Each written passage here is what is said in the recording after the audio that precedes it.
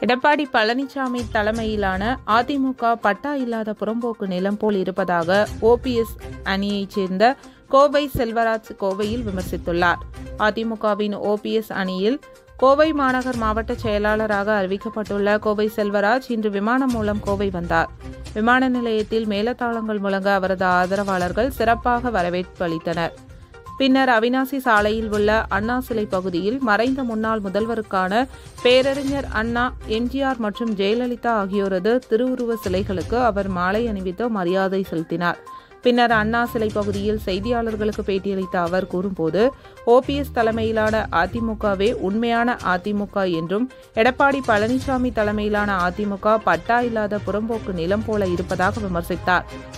மேலும் அவர்கள் நீதிமன்றங்களுக்கு சென்றாலும் தேர்தல் ஆணையம் தங்களை அங்கீகரித்து இருப்பதாகவும் தற்போது வரை அதிமுக ஒருங்கிணைப்பாளர் இணை ஒருங்கிணைப்பாளர் ஆகியோரது தலைமையிலேயே செயல்பட்டு வருவதாக கூறியதுடன் அண்மையில் பிரதமர் நரேந்திர மோடி சென்னை வந்திருந்தபோது ஓபிஎஸ் விமான நிலையத்திற்கு சென்று வழியனுப்பி வைத்ததாகவும் ஆனால் டெல்லி சென்ற ஒருவரை சந்திக்க பிரதமர் அனுமதி அளிக்காததால் திரும்பி வந்தது யார் என்பது அனைவருக்கும் தெரியும் என்று கூறினார்.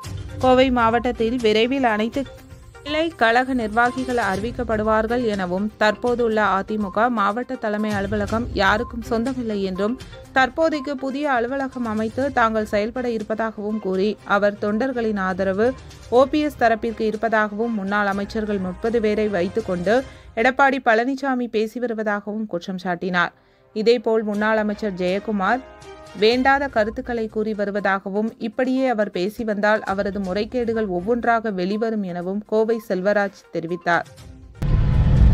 எங்களுடைய அனைத்து இந்திய அண்ணா திராவிட முன்னேற்ற கழகத்துடைய ஒருங்கிணைப்பாளர் அண்ணன் ஓ பன்னீர்செல்வம் அவருடைய தலைமையில் பிரம்மாண்டமான ஒரு பொதுக்கூட்டத்தை சிதம்பரம் பூங்காவில் நடத்த இருக்கிறோம். இன்றைக்கு அதிமுகவுடைய தலைமை என்பது சென்ற பதினொன்றாம் தேதி அவர்கள் நடத்திய பொதுக்குழு ஒரு செல்லாத பொதுக்குழு.